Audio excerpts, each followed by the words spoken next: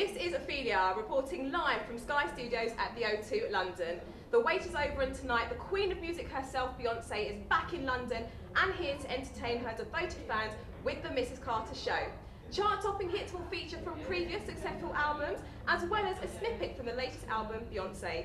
We look forward to the flawless execution of her energetic performances and to dance the night away. That's the latest from Sky Studios. From me, Ophelia, goodbye.